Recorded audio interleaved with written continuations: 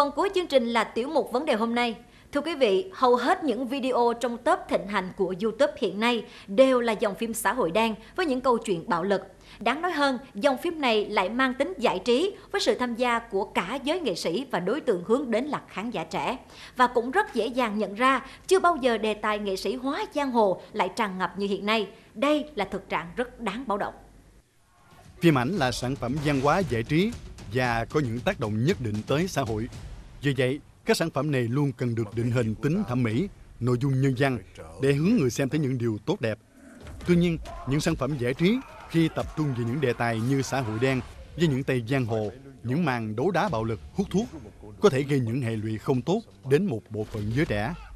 Tức là nó tạo lên một cái hiệu ứng xã hội theo cái cách là xóa nhòa mọi cái cái cái, cái chuẩn mực đạo lý, đạo đức thông thường của xã hội ừ, làm cho các bạn trẻ gần như không còn phân biệt được thế nào là đúng thế nào là sai. Cứ thấy thích rồi.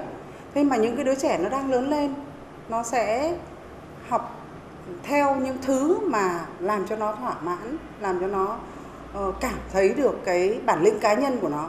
Mà bất kể bản lĩnh ấy gây tác hại cho xã hội hay không nó không cần biết. Mình nên hạn chế và kiểm soát được cái nội dung của cái phim đấy thì à, nó sẽ tốt hơn và tránh được những cái tiêu cực tác động từ những cái phim đấy đối với cả giới trẻ bây giờ và khi cơ quan chức năng chưa kiểm soát được thì các phụ huynh nên biết cách định hướng cho con em mình không bị chìm đắm trong thế giới này. Bởi với một bộ phận giới trẻ, những thứ quái dị, méo mó dường như vẫn có sức hút hơn những điều nền nã, đẹp đẽ. Thể các con chỉ tiếp cận trên góc độ là con thấy lạ, con thấy tìm thấy ở đấy nó có cái cái cái cái cái sự vui vui khác những cái lời nói khác những cái các con được đọc, các con xem ở trong gia đình thì các con thấy nó nó nó nó lạ lạ, các con thích xem thôi. Chứ nhiều khi có thể các con cũng không không hiểu về nội dung và cũng không không đủ nhận thức để hiểu được đấy là những cái lời nói không hay, không tốt. Và nếu mà các con xem nhiều, lâu lâu thì tự dưng nó sẽ nhiễm vào người và khi các con nói chuyện cũng có thể là với cái giọng với những cái lời nói như giống trong những cái clip đó con mình xem mình cũng không cho nó xem nó xem nó, nó hư hết nó theo thế là không thích không, phong trào thế trẻ con thế là hư những sản phẩm phim về giang hồ trên YouTube thường thu hút rất nhiều lượt xem và công chúng đa phần là giới trẻ, học sinh cấp 2, cấp 3, sinh viên. Lượt xem lớn đồng nghĩa sẽ mang lại cho nhà sản xuất, nghệ sĩ nhiều khoản thu. Nhưng những sản phẩm đó sẽ mang lại những hệ lụy gì cho những khán giả, giới trẻ sau này mới là điều làm chúng ta suy ngẫm.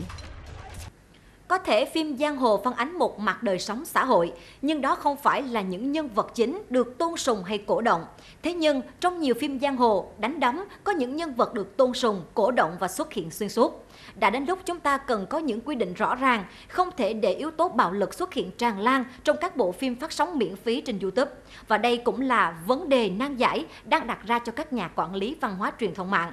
Và phóng sự vừa rồi cũng đã khép lại chương trình ngày hôm nay. Cảm ơn quý vị đã quan tâm theo dõi. Thảo Quy xin kính chào và hẹn gặp lại quý vị vào chương trình ngày mai.